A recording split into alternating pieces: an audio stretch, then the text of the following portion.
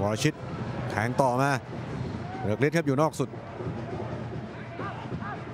ดึงหลอกจีรวัตร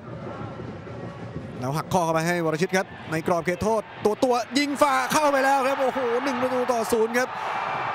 วรชิตกนิษฐ์ศรีบำเพ็ญครับ